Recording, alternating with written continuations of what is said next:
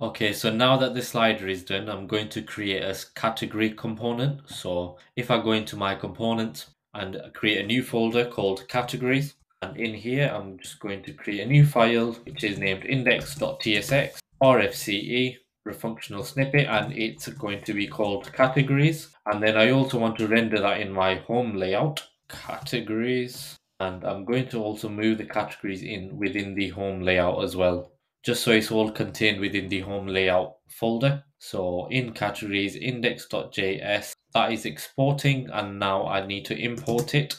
So that is working correctly. Now, if I save, I should now see the categories component, which is here. The text is in black. So essentially we want to create six category components that are the same. So we want to map over them, showing three on the top and three on the bottom. And then when we get to a bigger screen, then we can show six in a row. So first thing I'm going to do is create a container and the container is going to be imported from styles. So if I create a styles.tsx file.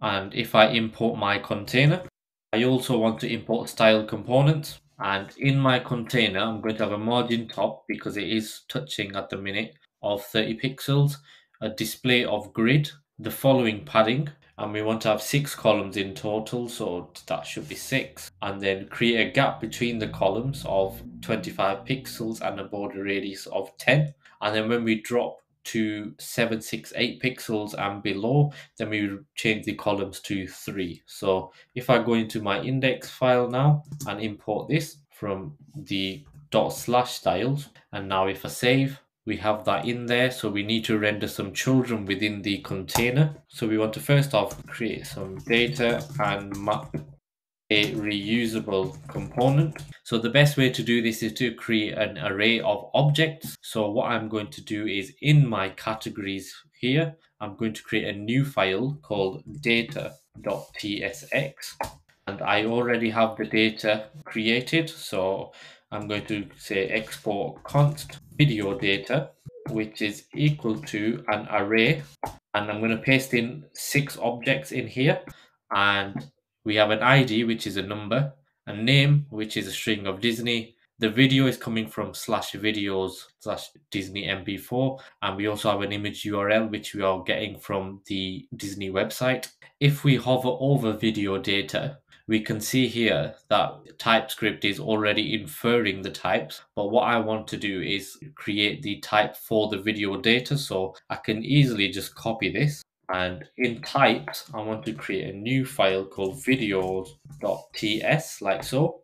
And in here, I'm going to export the interface of the video data, which is an object like so. And I'm going to take this out and delete this as well. So now we have access to the video data type. So if I go back into my data.tsx, I can now declare the type on here. So if I give it a colon and video data and import this with control spacebar from types, there is still an error because it is an object that I have stated here. So an object that contains ID of a number, name of string, video of string, and image URL of string. So all I need to do now here on video data type is just add array brackets like so.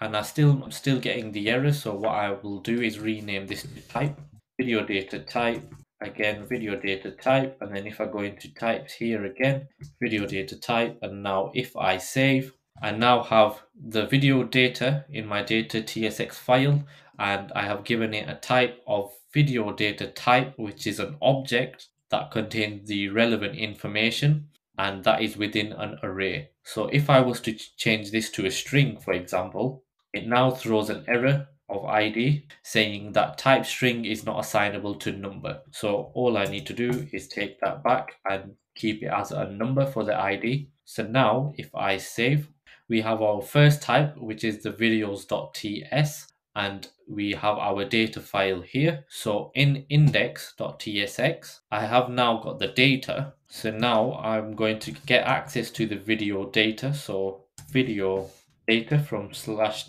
data and I want to map over this so optional chaining so if video data is there then I want to map over it and for each video that I have or movie whatever you want to call it I want to implicitly return within the JSX. So implicitly return is when you do the parentheses like so. And in here, I'm going to render a component, render component with relevant data being passed down, relevant data being passed down as props. So in this case, we would the data we will be getting is the individual video itself and that will be of video data type only and not the array. So what I want to do is create a component named category content. But before I do that, I want to create a wrapper.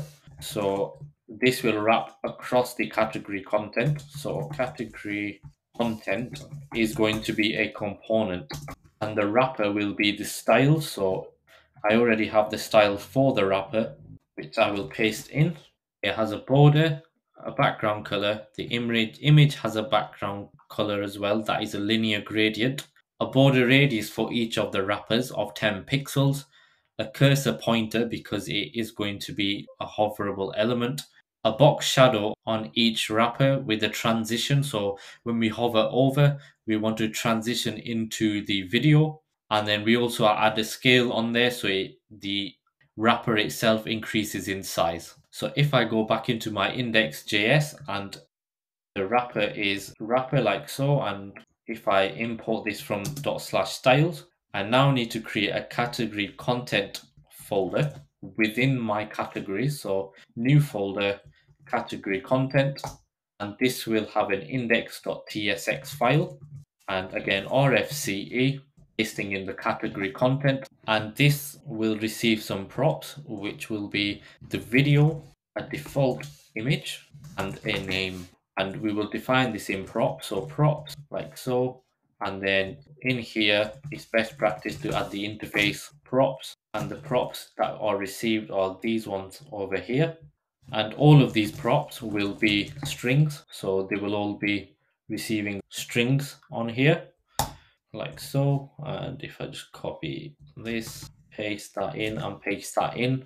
So now if I save we should get an error because we aren't passing anything down into category content and we are also not rendering the components. So if I import that I have an error on here saying it is missing the following properties from type props. So we need to pass them in. So if I just copy this and paste that in, so the video is going to be equal to, and if I go into my data.tsx, I have a video here. So video is equal to video.video, which does not make sense. So what I'm going to do is I'm going to change this to item and then rename this item so it does make sense the default image is going to be equal to item dot.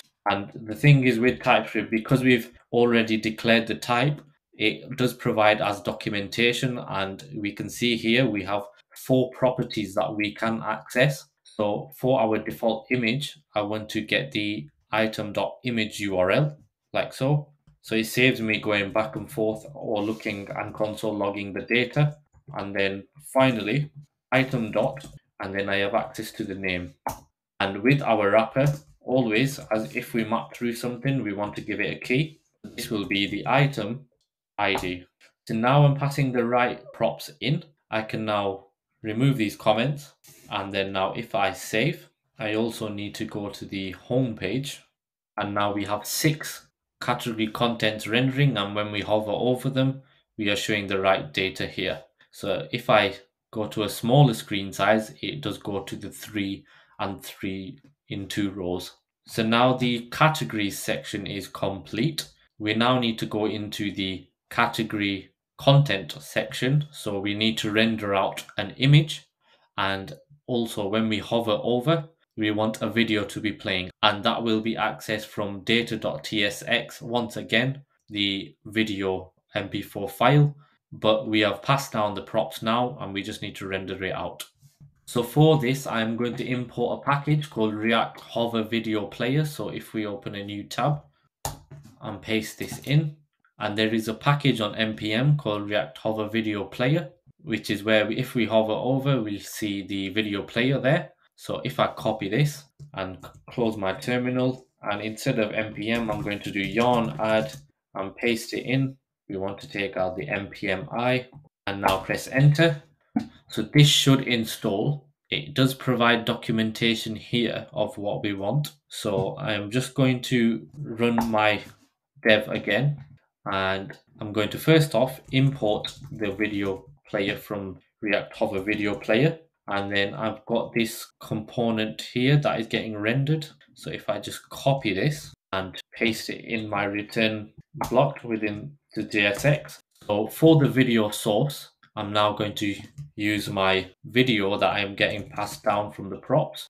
The paused overlay is an image. So what I'm going to do is use the next image tag for this which provides many benefits and you can read this up on the Next.js website but essentially it converts your image to a base 64 string and it loads more efficiently and it optimizes the image also so for this i'm going to have a source which is equal to default image which is being passed down from the props so we're using that. The alt will be the name which i am passing down from the props. And I am going to ignore the style here because Next.js has built-in styles on the image component. So I'm just going to give it a layout of fill, which will mean that it will cover the its entire parent div element. And we don't need a loading overlay, so I will delete that as well. So now if I save and go back into my local host, we now have an error, which means that we need to add a URL onto our host name which is the prod ripcut delivery plus net. So this happens when we use the next image component. So it essentially means that we can only use predefined URLs. So if I go into my next config.js and after compiler, I'm going to add an images object in here, which takes in domains. And this will be an array of domains. So I'm going to paste in my domain like so. And if I save, what I now need to do is restart the server because I've made changes to the next config file. So if I do yarn dev and I want to go to the home page, I'm still getting this error. So if I just scroll along, they all have the same URL and I can see the issue, which is the domains. I need to put an S on the end. And if I save again and again restart the server, the yarn dev, and now if I go into the home page, we now have the images rendering and if we go to bigger and then smaller. So now if I hover over at the Pixar, we now have the Pixar video playing and the same with the Disney and the Marvel and the National Geographic as well. So now that is the categories section complete.